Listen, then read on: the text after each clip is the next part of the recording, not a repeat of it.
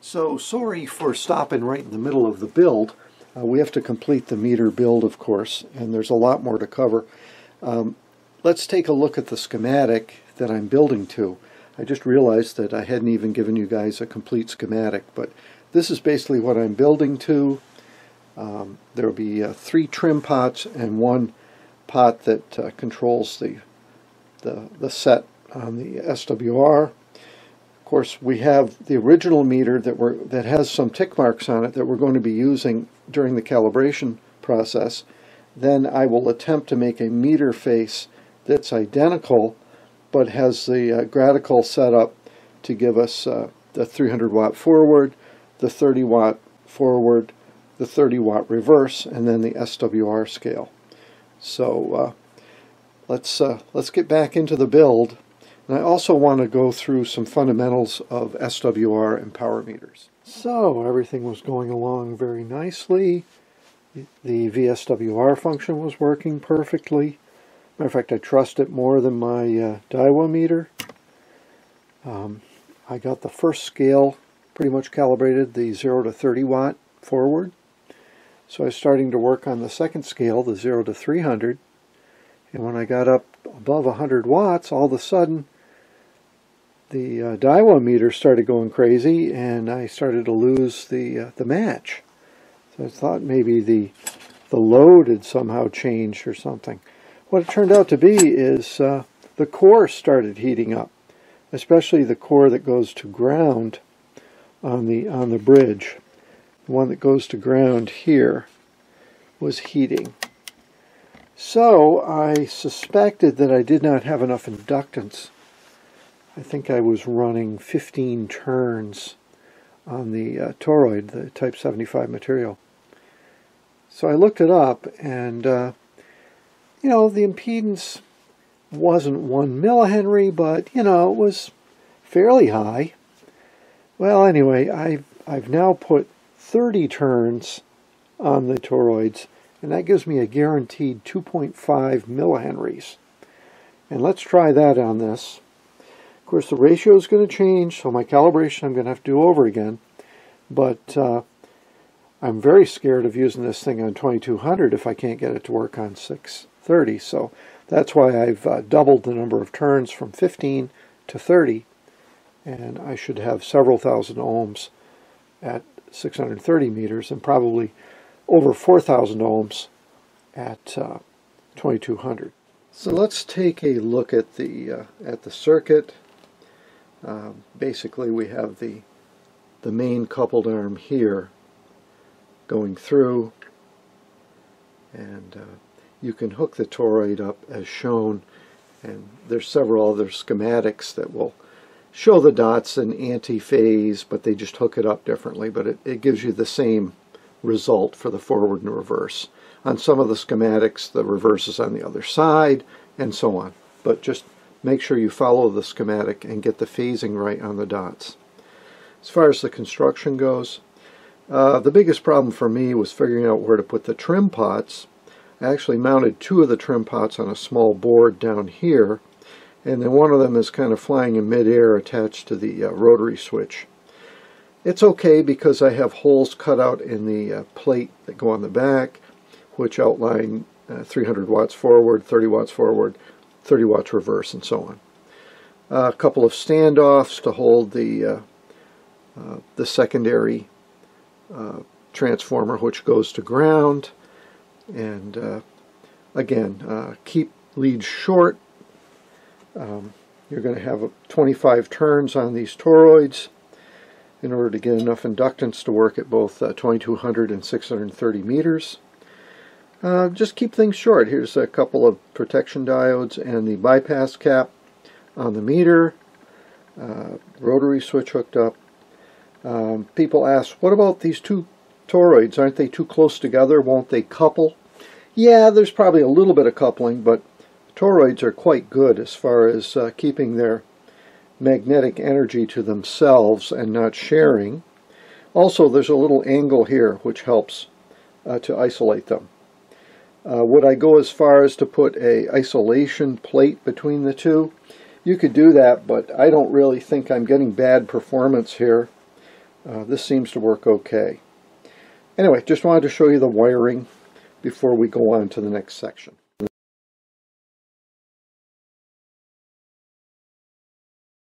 Before you actually have a new meter face, you have the original one, and uh, the original one had some markings on it that were uh, easy to reference, and I was able to basically line up the different power levels with the lines on that original meter face, and that makes it easier to generate my own meter face that's uh, somewhat calibrated. That's not going to be perfect, but it's going to get you in, in a good spot. For instance, right now, if we're going for the 4.4, which is 44 volts, which is 50 watts, we want the thing to be close to 50 watts. And uh, it's not going to be absolutely perfect. Remember, uh, you, once you get the whole thing assembled, you can do the fine tune on the trim pots in the back and uh, set it for the power that you're mostly going to be using. Let's say it's 50 watts, that you would set the trim pot exactly for 50. Then you check it for 100 and you see if you're anywhere near 100. And uh, that's how you can tell you have a good meter face on your calibration.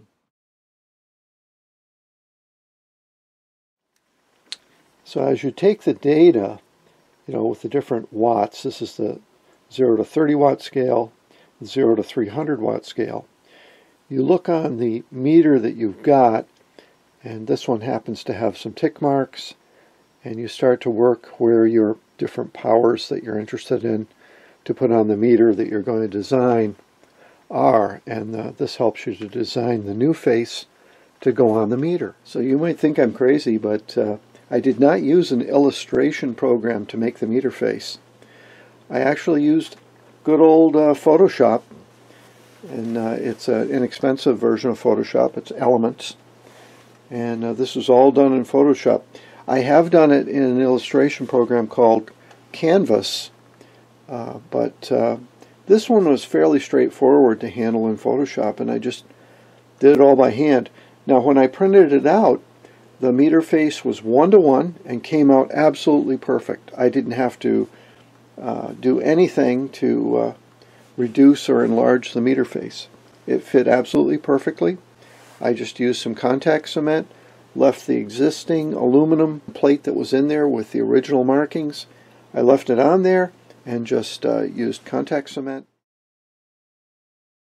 So for instance now let's check the 100 and we're up around 7.07 and of course that's reading up around the 100 on the meter. So we know we have a pretty good range between 50 and 100 it's reading quite well and that's what you're checking when you're when you're doing the new dial for the meter. So when you're checking for reverse in this case the 30 watts reverse this one you basically hook the thing up backwards you put it in the reverse set it for the 30 volt level and then see if the thing is actually going to read properly once you turn the meter around and there it is full scale is indeed 30 watts so that's how you calibrate the, the reverse. Now when you're calibrating uh, the SWR scale, basically you put the transmitter in the lowest power possible. So this seems kind of quick and dirty, but we need to make some test terminations to be able to determine uh, the marks for the SWR on the front of the meter. Now the first thing that I did is I reduced my grid drive until I got my power down around 5 or 10 watts. Something low enough that I'm not going to burn up my resistive loads if you have to run a fan on them to cool them. This particular load here I've got set up for 100 ohms, so it should be a 2 to 1 SWR. And you basically are, uh, you know, you go into the forward position, you make sure that you're, you're towards the top, you know, make sure that's close. Then you go into reverse, and it should be around 2. So it's not perfect, but it's in the ballpark. So that those two resistors, those are probably 5 watt resistors, they re represent a 10 watt load, um, and that's suitable for, for testing a transmitter at low power. So you're going to be soldering these resistors or, or putting them together like I am for, for representations of, you know, 5 to 1, 4 to 1, 2 to 1, 1.5 to 1, and so on. I think I used a 500K in there. I should have used a 200K because it adjusts pretty fast. So in reverse with the proper load, of course, nothing is showing at all, right? Forward full scale, perfect one-to-one -one on the other side. Well, most of the time you're using your SWR meter simply to match the antenna. uh, or tell you that you've got a problem with the antenna. It's not that you want to know exactly that you're at 3 to 1, but it is handy to have a good scale on the meter. Okay, I've got my uh, my solder fume fan on the load because we're going to be doing a little bit of power testing here. So the meter has a new face on it and uh, I just want to check out the 50 watt and the 100 watt level. So let's see if we can get 50 watts up there. Uh, there's 50 watts and up in the top we have 5 and that represents 50. 5 times 5 is 25. 250 divided by 50 is 5. That's 50 watts. Perfect. Notice the uh, Daiwa is just not up for it reading about 10 watts. It's five times too low uh, with the uh, diamond antenna SWR meter. Okay, let's go for 100 watts now. Now 100 watts, remember, is 70.7, so it's going to be 7.07 on the RMS voltmeter.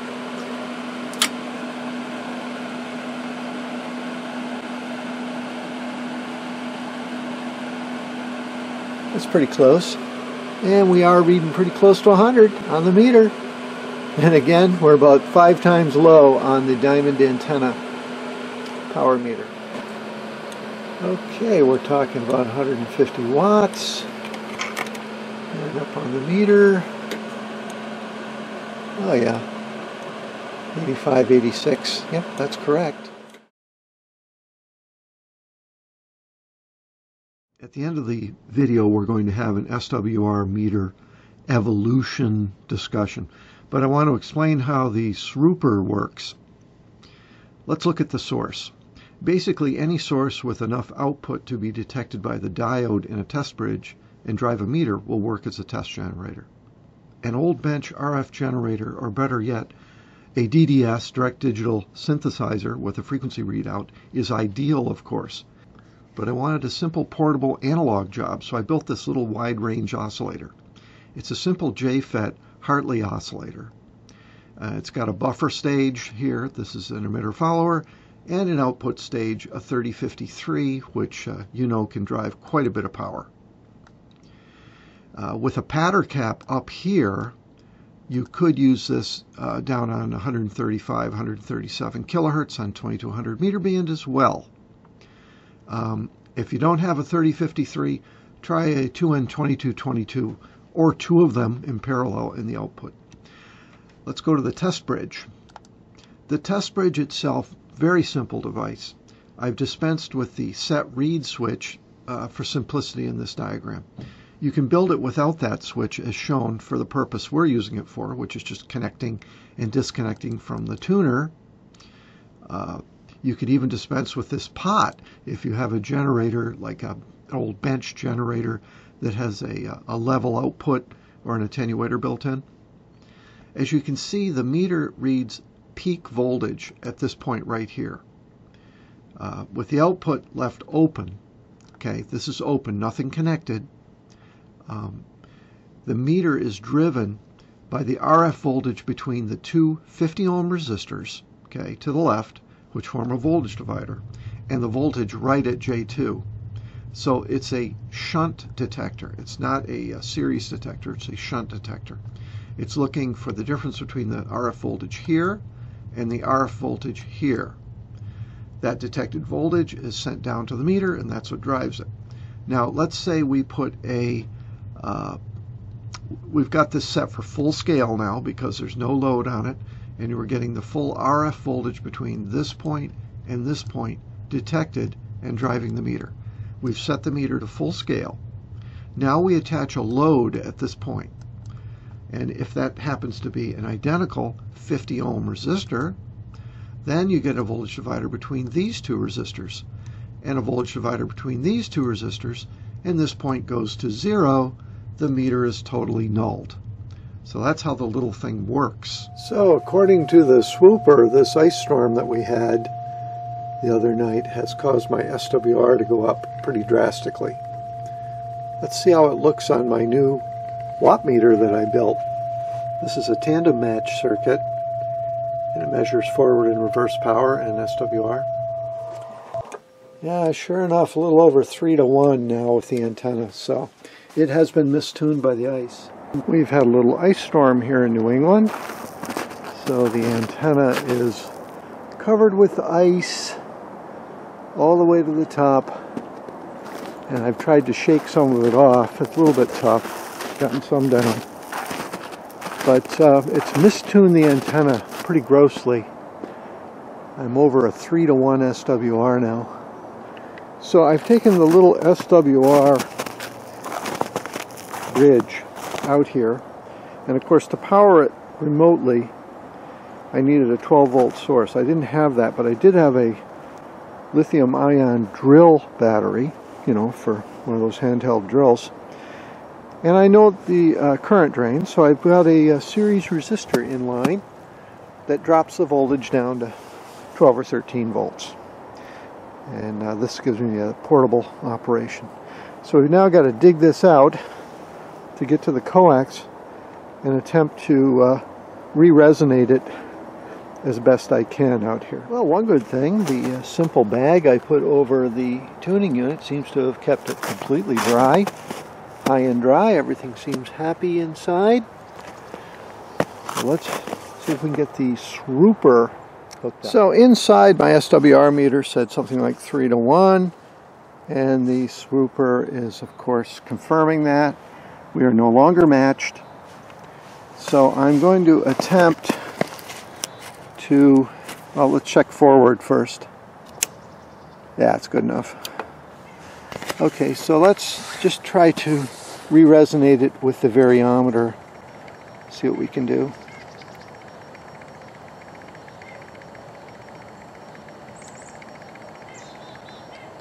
Okay, so we've gone quite a ways. We're down to about 40, 47, and we were as high as uh, 52. So we've now re-resonated the antenna. Okay, it is covered up again. Now I expect this to drift again when the ice melts off the antenna, and I'll have to come out and adjust it again. Again, this is just the experimental tuning box and uh, now we know why those guys have the remote tuners and the uh, or they run uh, an antenna that doesn't have as high a Q and make their match purposely a little bit less than normal so that they don't have to adjust the antenna so much. In other words, it might be better to adjust the antenna to 1.5 to 1 or 2 to 1 rather than a perfect match simply because your antenna doesn't need to be tuned as often. You make up the difference with just a little bit more power.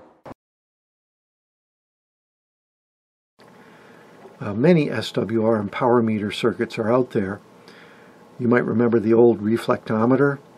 Uh, this was limited at low frequencies because the coupled arms must be made very long at low frequencies, so the sensitivity can vary widely over large bandwidths. Remember those simple SWR meters of the 1960s? They all used that design. Most modern commercial meters are using Bruene bridge. This circuit utilizes a wideband transformer approach with a toroid transformer sampling along a short transmission line, forming a one-turn link. This bridge does require adjustment of one or more trimmers to be made accurate over a wide frequency range.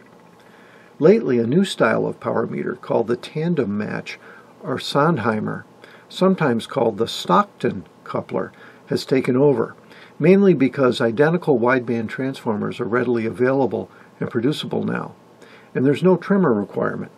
The loads are identical, low Z, allowing for easy power calibration at the output. It's not really a bridge at all, but more related to the old audio hybrid couplers used in your phone patch and in telephone work. For more information on this interesting circuit, take a look at this link. Be sure to pay particular attention to the phasing dots because the circuit is drawn in many different ways and all of them will work, but not if you mess up the phasing. For a single band like 630 meters, really any of the circuits mentioned would work with very little fuss. But you do need enough initial inductance on the toroid transformers to handle the lower bands with the tandem match. So ordinary 43 or 31 type cores become impractical. You'd like to keep a single turn through arm secondary ratio between 20 or 50 to 1. In other words, the single turn goes through as the sense element, and you might have 20 to 50 turns on the toroid. Uh, if you get enough turns on there, you will have enough inductance to cover both 2200 meters and 630 meters. This represents two octaves of bandwidth. It's important to use a core with a high AL and high mu value in order to get enough inductance with reasonable number of turns. Reasonable number of turns meaning 15 to 30 turns on the core. Uh, type FT50-75 has an AL of 27 and a mu of 2200 to 3100 depending on the manufacturer. That's a very good option. FT50J with a mu of 3100 is another excellent choice. FT5077 has a mu of around 2000. Any similar core will work. The idea is to have between 1 and 2.5 millihenries of inductance so that you can cover both 2200 meters and end up with a reasonable value many times higher than 50 ohms. On a type 50-75, this turns out to be between 25 and 30 turns.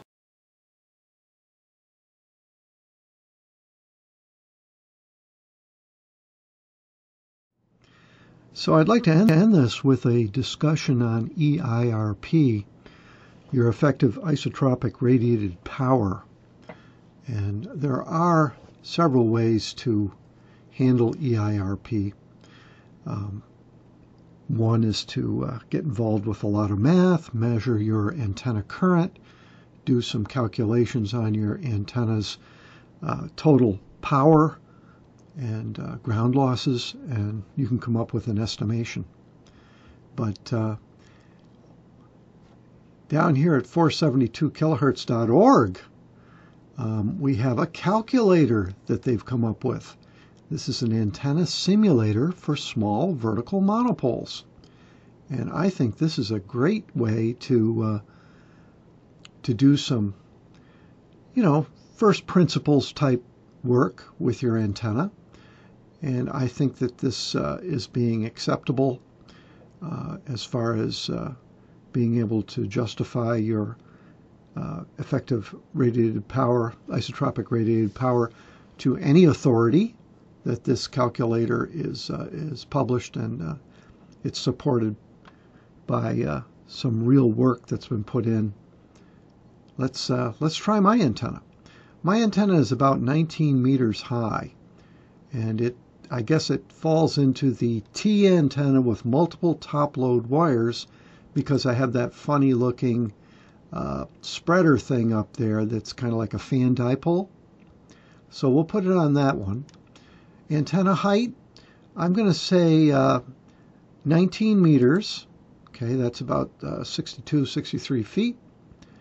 I'm going to say uh, two top load wires because I guess you can count my fan as two wires. Um, the top load length is uh, 9 meters. That's about 30 feet. And for the spacing, we can talk about it. It's going to be probably closer to 0.2 because uh, I'm just going to take the average of uh, the fan width, call that the spacing. Uh, ground loss. I'm definitely in a suburban, forested, obstructed, high loss type of area. Okay, that's it. Then you hit go. And what it says is that uh, my antenna capacitance is about 212 puff. I have a required loading coil of 530 microhenries. Remember I said I was uh, requiring about 480, uh, but I have the center loading coil. So this is pretty darn close, actually. So moving down, we can see that uh, loading coil loss is estimated, a Q of 250. Now, my loading coil may or may not be that good since I'm using the tuner. Uh, estimated loss of 50 ohms in the ground. Mine's probably worse than that because I only have eight radials, eight or nine radials. uh, antenna directivity is basically a vertical dipole type of thing. Uh, they're saying that there might be up to 6 kilovolts of voltage at the top at the full 5 watt EIRP I'm allowed. Um, probably a little less than that because I'm using the center loading coil. And uh, it looks like uh, 162.8 watts um, for hitting that 5 watts EIRP. Now I'm going to assume that's uh, with a lot more radials. I don't think I'm that efficient uh, yet. And uh, my transmitter is a very good match for this antenna. We've figured it out, figured out that it can easily do uh, 150 or 160 watts out full blast. So I think this is a really good uh, estimator. And it gives me an idea of why my antenna is working so well right now. So ends the little 630 meter adventure, and it was an adventure for me. Uh, let's remember it all started with being able to hear signals. Specifically, the loop antennas that were developed uh, allowed me to start to hear signals on 630 meters, and much lower, by the way.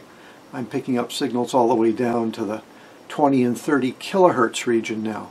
And that was the impetus that really got me interested in doing something uh, with a transmitter, getting that transmitter on the air, putting up the, all-important Marconi antenna that uh, allowed me to make contacts, and finally to develop some instruments to be able to work in a band where there's not much out there.